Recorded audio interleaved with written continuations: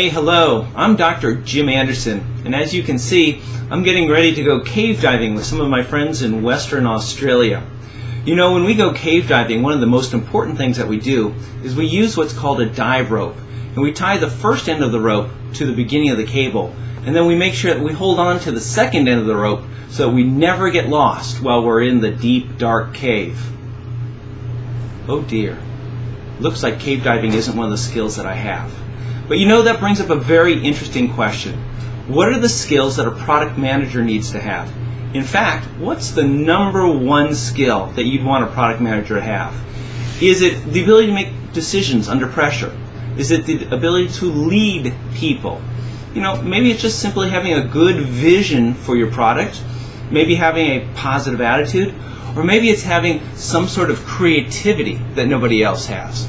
Hey, look, those are all great skills to have, but they're not the number one skill that a product manager needs to have.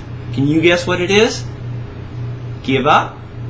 The number one skill that a product manager needs to have is good judgment. The ability to make good decisions is the number one skill that any product manager needs to have because making decisions is such a large part of what we do each and every day.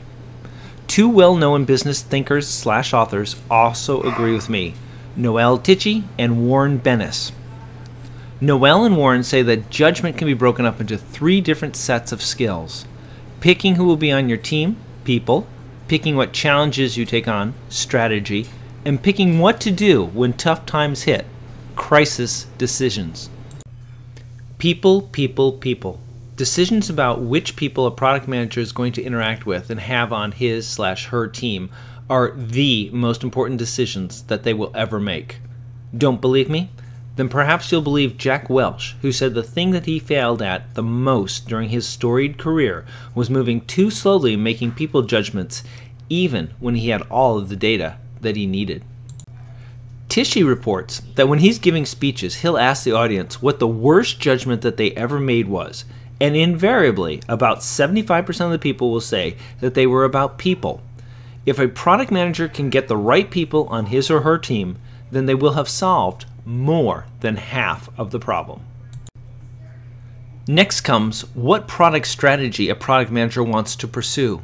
In our world, more often than not, this comes down to picking what types of customers we want to go after with our products. Our sales teams are all too often filled with salespeople who will happily go after every customer that they can get a meeting with. However, this is a great way to waste time until all of the money is gone. Picking the right customers from the get go and going after them aggressively is what good product managers make happen. Bad things happen, and a product manager who is ready for them is a product manager who has real world survival skills.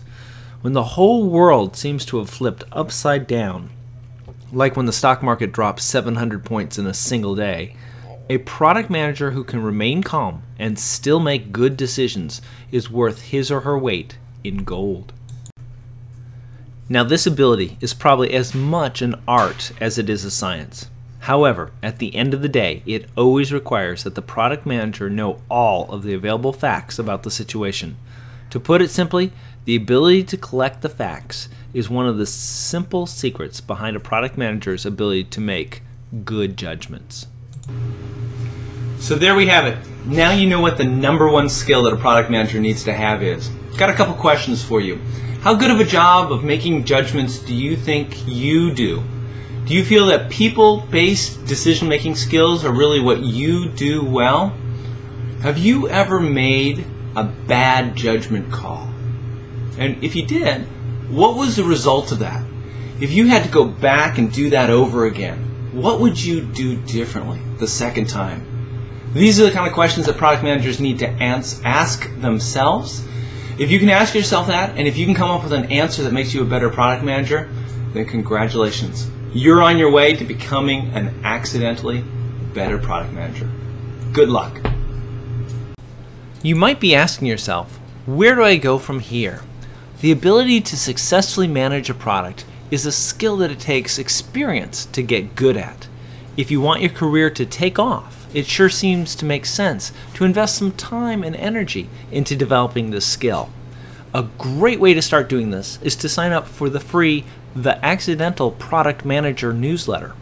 This monthly publication is sent to your in basket and is overflowing with tips and techniques on how you can become a successful product manager whose products are the envy of all other product managers. We'll cover how to segment your customers, determine what kind of product they would be willing to buy, how to get your development team to do what you want them to do, how to work with sales, how to price your product. Mm, hey, who knows? We might even throw in a marketing tip or two. Hey, the newsletter is free, so you can't go wrong there. In this in the description for this video, you'll find a link that you can click on. Go ahead, click on it, and you'll be taken to a web page that will let you sign up for the free newsletter. Hey, there's even a free gift in it for you when you do it. Thanks for watching this video. Sign up for the newsletter, and congratulations on starting your journey to accidentally becoming a successful product manager.